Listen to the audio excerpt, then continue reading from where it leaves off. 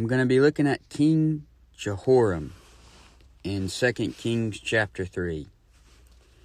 Now, King Jehoram is the brother of King Ahaziah. And Jehoram becomes king because King Ahaziah has no son. So once again, you've got a son of Ahab and Jezebel. So he's not king of Israel. His name means Jehovah is exalted, although he's not doing much of that. His length of reign is 12 years. His parents, as I just said, Ahab and Jezebel, and his prophet, Elisha. His spiritual state is he wrought much evil in the sight of the Lord. So this is a, another evil king. And mostly I'm going to be talking about the lesser of evil, the lesser of two evils, does not mean he's not evil. Just because he's the lesser doesn't mean he's not evil himself. In 2 Kings 3 1, it says, Now Jehoram, the son of Ahab, began to reign over Israel in Samaria the 18th year of Jehoshaphat, king of Judah, and reigned 12 years. So Jehoram is reigning over Israel at the same time that Jehoshaphat is reigning over Judah. Jehoshaphat, we've done some studies on him. He's a good king. And Jehoram is an evil king. But he reigns 12 years, and that's a pretty good while because imagine the length of time you were in first grade all the way up until you were in 12th grade to give you an idea. That's a pretty good while. So if somebody was in first grade and graduated from high school, that's the amount of time that Jer- Jehoram was king. Jehoram did evil all those years. He's an evil king. But he isn't the most evil. Just because you are the lesser of two evils doesn't make you good. You'll notice that sometimes the Bible will compare people and say something like he did he did evil in the sight of the Lord but not like so and so. Obviously both are still evil, but one is the lesser of two evils. And sometimes a person can look righteous when you stand them next to an extremely wicked man. When I was in school, there was this really bad kid named Cortland. And we thought this kid was the baddest kid that ever hit planet Earth. Until halfway in the school year, we got this new kid named Kevin Klein, not to be confused with Calvin Klein. But he turned out to be the most evil, the most evil kid we'd ever seen. The teacher warned us ahead of time. She said that Cortland is bad, but this Kevin kid makes Cortland look like a little schoolgirl. Both guys were bad, but one of them was really evil. The reason behind me saying that is you can always find somebody worse than you. Um, the biggest troublemaker in your class, there's a bigger troublemaker somewhere. You know the saying, you can always find somebody bigger, or you can always find somebody better. You can always find somebody more evil. Many times, a lost person thinks in their minds, they think, I'm doing pretty good because at least I don't do what so and so does. But that's where you're messing up. You think that since you're doing better than Kevin Klein, that you're doing pretty good, but you're forgetting you're not going to be compared to Kevin Klein or Cortland. You're going to be compared to the Lord Jesus Christ. And until you get His righteousness placed on your record, you'll always come short of the glory of God. But you get his righteousness by putting your trust in him and his finished work on the cross, where he died for your sins, shed his blood, was buried, and resurrected. You get that on your record. When you get saved, you get his righteousness on your record. That's the only way to not come short of the glory of God. You can always find somebody worse. But these kings may have thought they were doing pretty good. I mean, Jehoram he may have thought to himself, I'm doing a lot better than mom and dad, which was Ahab and Jezebel, two of the most notorious evil people in the Bible. So he thought, well, I'm doing pretty good. I'm doing better than mom and dad, so I'm all right. I'm going to make it. I mean, but you all look good if you compare yourself to a serial rapist or a big time bank robber or a baby killer. You can always find someone worse. So, my first point is anyone can do better than the worst person. The worst person in your life, you're probably doing better than that person. In 2 Kings 3 2, and he, Jehoram, wrought evil in the sight of the Lord, but not like his father and like his mother. For he put away the image of Baal that his father had made. So he wrought evil. He worked or performed evil in the sight of the Lord. Everything you're doing is in the sight of the Lord. Where I'm from, all I hear is country music. And this one country singer plays this song that says, What happens down in Mexico stays in Mexico. And I, I've, I've heard that in stores and walking around places, and I'm thinking to myself, that's completely untrue. What happens down in Mexico is wrote on your soul if you're not saved, and you'll be judged for it. If you're saved, then it's wrote on your flesh, and you'll reap it in the flesh, and you'll lose eternal rewards. I mean, it's it's took a record of somewhere. Everything you did down in Mexico, everything you did in Las Vegas, everything you did at your girlfriend's house. All this stuff is wrote down. In Proverbs 15:3, the eyes of the Lord are in every place, beholding the evil and the good. There's no secret chambers or hidden rooms in King Jehoram's castle that he could hide from the Lord. Everything that happened in the Playboy mansion is recorded somewhere. Everything that happened in the Biltmore house is recorded somewhere. Everything that happened at Bohemian Grove is recorded somewhere. God took note of all of it. Nobody's getting away with everything. Luke 8:17 says for nothing is secret that shall not be made manifest neither anything hid that shall not be known and come abroad. So, 2 Kings 3 2 and he Jehoram, wrought evil in the sight of the Lord, but not like his father and like his mother. For he put away the image of Baal that his father had made. He did evil, but not like his father and like his mother, Ahab and Jezebel. So there are different degrees of sin. There are people that are more sinful than others. One day, God is going to open a book with every single thing a lost man has done, and he's going to give that person possibly a greater damnation in the lake of fire for the things that he's done. He may have a greater damnation than the person that went before him. In Revelation 20, 13 through 15, it says, And the sea gave up the dead which were in it, and death and hell delivered up the dead which were in them, and they were judged every man according to their works. It's according to your works. The more evil you do as a lost person, the hotter hell is going to be. The hotter the lake of fire is going to be. And death and hell were cast into the lake of fire. This is the second death, and whosoever was not found written in the book of life was cast into the lake of fire. I mean, Jehoram is in hell, Ahab's in hell, Jezebel is in hell, but one day they will stand before God and they will be judged out of the things written in the book. Jehoram may not receive as great a damnation as Jezebel or as Ahab, but he's still going to the lake of fire. Just because he wasn't as evil as Ahab and Jezebel, that didn't get him righteousness. In Luke 20, 46 through 47, it says, Beware of the scribes which desire to walk in long robes and love greetings in the markets and the high seats in the synagogues and the chief rooms at feasts which devour widows' houses, and for a show make long prayers. The same shall receive greater damnation. There's some people that's going to receive a greater damnation than somebody else. In John 19:11, Jesus answered, Thou couldst have no power at all against me, except it were given thee from above. Therefore he that delivered me unto thee hath the greater sin. So Jehoram didn't have a greater sin than his parents, but he was still evil. He got rid of the image of Baal that his father made, but he still loved himself first. Maybe he didn't fool with Baal because he was so much in love with himself. So,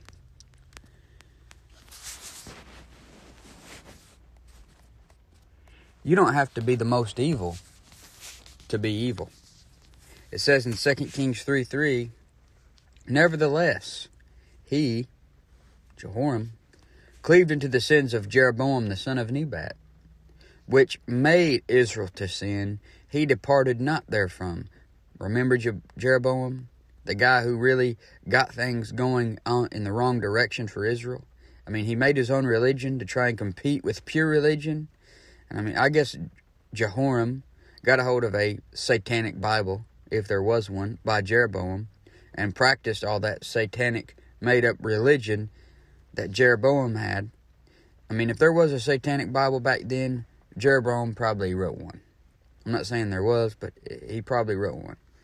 I mean, Jehoram probably got a hold of it, had it signed by Aleister Crowley and Anton LaVey and Madame Blavatsky and those type of people.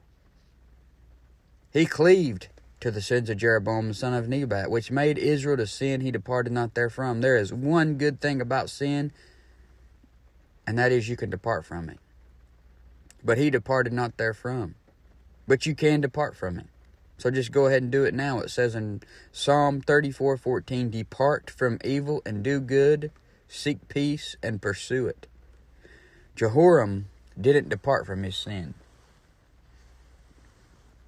It says he cleaved to the sins of Jeroboam. That's a strong word if you think about it. Cleaved. The Bible says a man should leave his father and mother and cleave to his wife. And God sees that marriage bond is a very strong thing. That's that word cleave is very strong. You become one flesh with your wife. You cleave to her. Jehoram cleaved to the sins of Jeroboam. He was stuck to them. Sometimes sin gets such a hold of you that it's like trying to get out of a giant super glue spider web or something. He cleaved to the sins of Jeroboam. In 2 Kings 3 and verse 4, it says, And Mesha, king of Moab, was a sheepmaster, and rendered unto the king of Israel a hundred thousand lambs and an hundred thousand rams with the wool. So this Mesha guy is king of Moab, and remember where the Moabites came from. They come from that incestuous relationship between Lot and his daughters. And he was good with Israel, but it came to pass, it says in verse 5, when Ahab was dead, that the king of Moab rebelled against the king of Israel. So he rebels against King Jehoram, and this time Jehoram starts to show where he puts his faith, and it's not in the Lord. I mean, you and the Lord are the majority. If he's on your side, it doesn't matter how many people you're going against, you and him are the majority. But Jehoram doesn't have his faith in the Lord.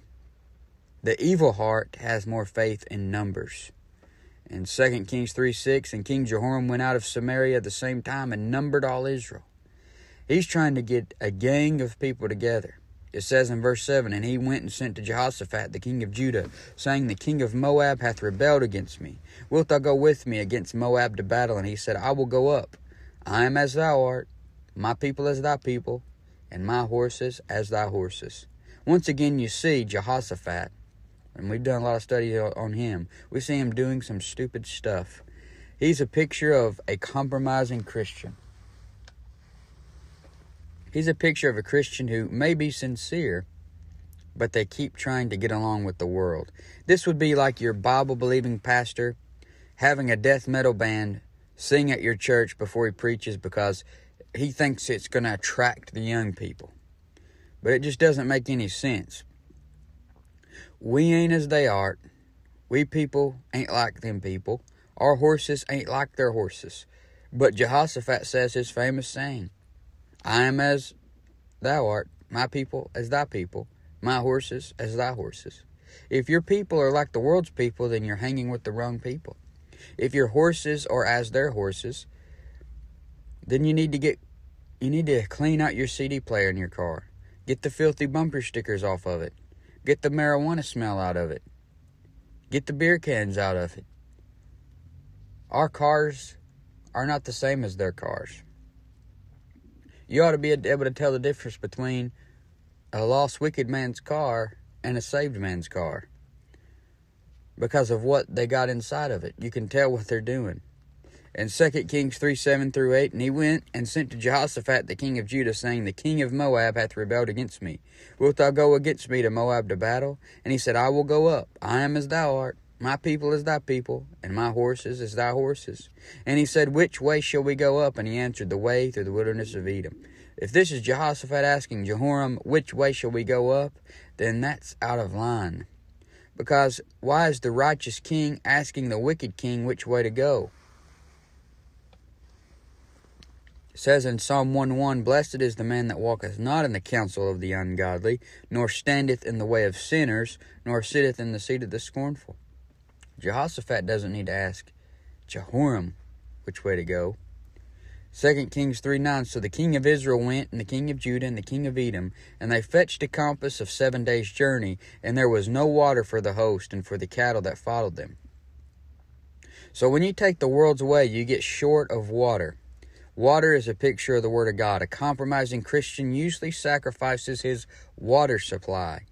When you have a compromising pastor, one of the first things he's going to throw out is the Word of God. He gets rid of his King James Bible, he gets a modern translation, and then his sermon doesn't even really use much scripture from any Bible, period. There's not much water there. So they had no water for any of the men or even for the cattle that followed them. And notice Jehoram's reaction. The evil heart he has blames God. In 2 Kings 3:10 it says, "And the king of Israel said, Alas, that the Lord hath called these three kings together to deliver them into the hand of Moab."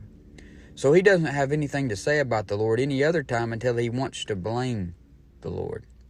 He's saying that the Lord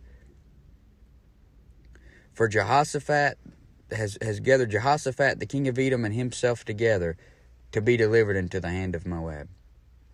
But Jehoshaphat said, Is there not here a prophet of the Lord, that we may inquire of the Lord by him? And one of the king of Israel's servants answered and said, Here is Elisha, the son of Shaphat, which poured water on the hands of Elijah. Notice once again Jehoshaphat shows his true colors. He knows deep down who the real preacher is. He knows who has the goods and who's going to give it to him straight. And then one of the king of Israel's servants popped up and said, Here is Elisha. So I guess this servant here had secretly been listening to a bunch of preaching tapes from Elijah. He probably had Elijah's commentary series back home. He even knew who the real preachers were. Verse 12 And Jehoshaphat said, The word of the Lord is with him. So the king of Israel and Jehoshaphat and the king of Edom went down to him. So the three kings go down to see Elisha, and look what happens. You're going to see the spiritual recognizes the evil man. And 2 Kings 3.13, And Elisha said unto the king of Israel, What have I to do with thee? Get thee to the prophets of thy father, and to the prophets of thy mother. And the king of Israel said unto him, Nay, for the Lord hath called these three kings together to deliver them into the hand of Moab. So when Elisha sees the king of Israel, he knows this guy's an evil joke. He says, Get to the prophets of thy father and thy mother. He knows that his prophets are the prophets of Baal. He knows who his mom and daddy is. He knows the king of Edom is also an evil man. The spiritual can recognize the evil man. He has some spiritual discernment. Verse 14 And Elisha said, As the Lord of hosts liveth, before whom I stand, surely were it not that I regard the presence of Jehoshaphat the king of Judah, I would not look toward thee nor see thee. So Elisha is saying that if it wasn't for Jehoshaphat being with them, that he wouldn't even look their way. He wouldn't even look toward them nor see them. But he says in verse 15, But now bring me a minstrel. And it came to pass when the minstrel played that the hand of the Lord came upon him. A minstrel is a guy that's going to come play some music on an instrument. And this is why most times you hear someone singing before the preaching. It gets you and the preacher ready for the preaching. So the hand of the Lord came upon Elisha when this music played the king of Israel was probably saying, why is he playing this old stuff? I mean, he's because Jehoram he's used to he's used to what they play at Saint Jeroboam's church of self worship. He's used to that kind of music that makes you do want to twerk, not the kind that makes you want to march. But Elijah, he hears that music, he starts preaching, and he says in verse 16, Thus saith the Lord, Make this valley full of ditches. For thus saith the Lord, You shall not see wind, neither shall you see rain, yet that valley shall be filled with water that ye may drink, both ye and your cattle and your beasts. When you get the right man, when you get the right man in, he starts filling you up with water. When you go to church, it should be like taking your pitcher in, and the preacher or teacher just filling you up with water. Uh, most guys you listen to aren't giving you much water. It's good sermons, but it's not helping you grow. It's not making you want to dig yourself in the word so that you can strike water for yourself. It's just a little bit shallow, shallow. I mean, not much there. I mean, it did the trick temporarily, but there's a big, big Bible in your lap full of all kinds of stuff, and they're just not giving it out. I mean, there's so much stuff to give out from the Word of God that I can't even find enough time to give it all out. If I don't give a, a big bite to you on your fork every time that you hear me, then I feel like I've just wasted your time. Some people say, well, you can't give it to them all at once. Uh, I know I can't, but most people are just using that as, as an excuse not to give anything at all. I mean, we can't give it all at once, but you can give some of it. Sometimes I listen to churches around my area on their live stream, and I'm, and I'm thinking, these people are going to hear this three times a week, and they aren't given any water to help them grow. It's waterless, it's a drought. They need Elisha to come in and fill the ditches with some water in there. Notice what Elijah says about their situation with the Moabites. In verse 18, and this is but a light thing in the sight of the Lord. He will deliver the Moabites also into your hand. He said, This is but a light thing in the sight of the Lord. Sometimes you forget how powerful God is. The stuff going on down here is kids' stuff. I mean, imagine your kids playing a game where they are opposing armies and they are going at each other. It would be nothing for you to step in and just stop them.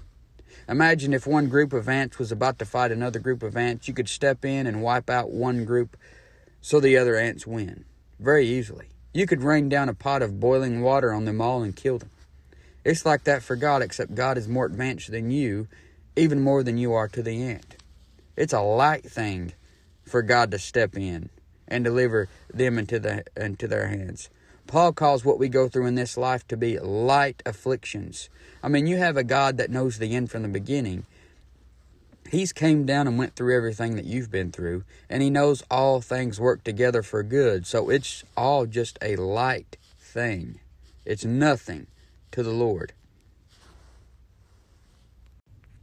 2 Kings 3:18 And this is but a light thing in the sight of the Lord. He will deliver the Moabites also into your hand, and ye shall smite every fenced city, and every choice city, and shall fell every good tree, and stop all wells of water, and mar every good piece of land with stones. Notice that God is so far ahead of the game.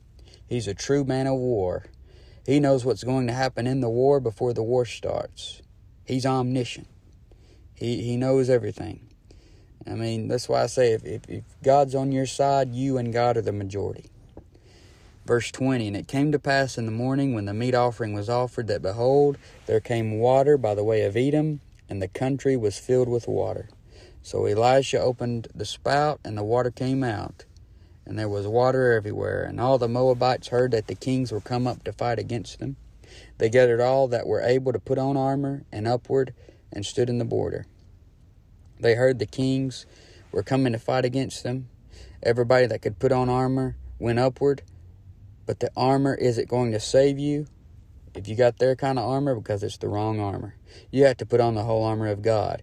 You can have all the things the world can put on you, but if it isn't of God, it's not going to have any know, real effect. In 2 Kings 3:22 and they rose up early in the morning and the sun shone upon the water, and the Moabites saw the water on the other side as red as blood. Uh, when the sun hit all that water that the Lord brought in, it looked red as blood. So Elijah brought water out that ended up looking like blood. Elijah does a miracle with water, just like Moses turned the water to blood. The Lord Jesus Christ turned the water to wine, a picture of blood. 2 Kings 3:23 and they said this is blood. The kings are surely slain. They have smitten one another. Now therefore Moab to the spoil. So they think the Moabites think that Jehoshaphat Jehoram and the king of Edom got into a big fight and killed each other. So they're, they're like let's all go get the spoil. The spoil is all the stuff that they can they can get their hands on. The enemy's horses their goods their food the stuff in their pockets everything so they're going in there, they're thinking they're going to get all that spoil. And it says, And when they came to the camp of Israel, the Israelites rose up and smote the Moabites, so that they lied before them, but they went forward, smiting the Moabites even in their country. So the Moabites were coming in there without their game face on. They thought they were coming in to get the spoil. Israel just pounced on them. It says, And they beat down the cities, and on every good piece of land cast every man his stone, and filled it, and they stopped all the wells of water, and felled all the good trees. Only in Kirashath left they the stones thereof, howbeit the slingers went about and smote it. And when the king of Moab saw that the battle was too sore for him, he took with him seven hundred men that drew swords to break through even into the king of Edom, but they could not. So he took seven hundred men that drew swords. One problem just like they had the wrong armor, they got the wrong sword. They needed the sword of the Lord. They needed a sharp two edged sword. They needed the sword of the Lord and of Gideon. They needed Ehud's dagger. Uh, they needed a sharp two edged sword. Those swords of those 700 men were like the swords you buy your kid at the Dollar Tree. If you're going to go against God, you need, you can't go against God like that. And see, if you're going against God, you're not, you don't have the right sword. You don't have the right armor. You can't fight against God and prosper. But if you're on God's team, then you've got the right sword, you've got the right armor. It says in verse 27 Then he took his eldest son that should have reigned in his stead and offered him for a burnt offering upon the wall. And there was great indignation against Israel, and they departed from him and returned to their own land. The king of Moab took his eldest son, the one that would have been king after him, in his stead, and he took him and offered him as a burnt offering. You see how wicked these kings are? A man that can kill his own kid is full of the devil. It says he departed from him and returned to their own land. Uh, they went back where they came from. Just like the devil, after he tempted the Lord a few times, he departed from him for a while. You see, just keep relying on the Lord to win the battle, and a time of rest will come.